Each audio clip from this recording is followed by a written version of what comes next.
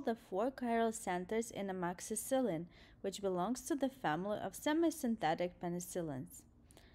So first, what is a chiral center? A chiral center is an atom with four different groups and most of the time it's going to be a carbon. So it's basically a carbon that has four different groups. So what we're going to do first in this molecule, we're going to identify all of our carbons mm-hmm. and we're going to show all of the hydrogens that they're missing. A carbon wants to have four bonds. So if we see that a carbon has less than four bonds, that means that hydrogens were not shown. So we have a carbon here, for example, it has one, two, three, four. This one is fine. This carbon has one, two, three. So it means there is another bond here, which is a hydrogen. Same thing here, here, and here. Here, everything is shown. This carbon has a hydrogen, hydrogen, and there is a hydrogen here and I think we're done because for these the hydrogens were shown. Next we're going to look for carbons that have four different groups.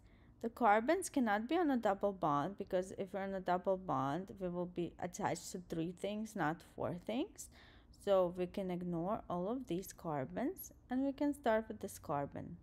This carbon has a hydrogen, an NH2, is connected to this ring on the left and is connected to C double bond O on the right, which is different. Therefore, this carbon is a chiral center.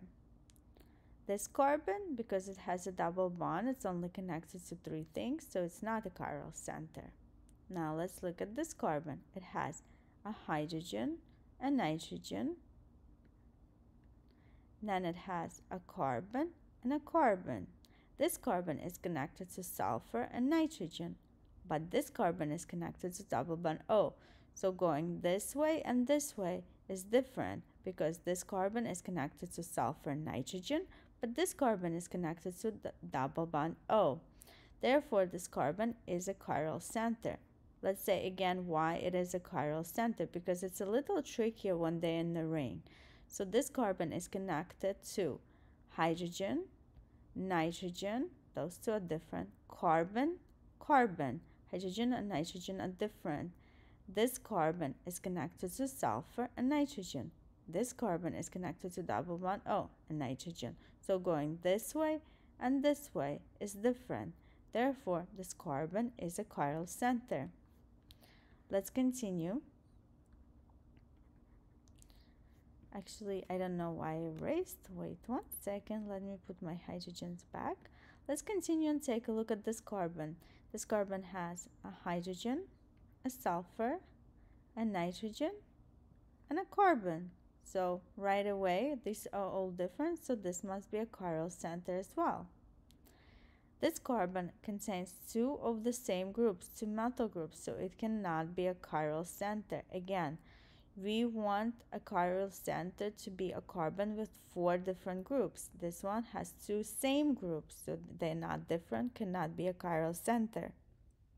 This carbon has a hydrogen, nitrogen, carbon, and carbon. Are these two carbons different? Yes, this carbon is connected to two methyl groups and this carbon is connected to double bond OOH. So this is a chiral center as well.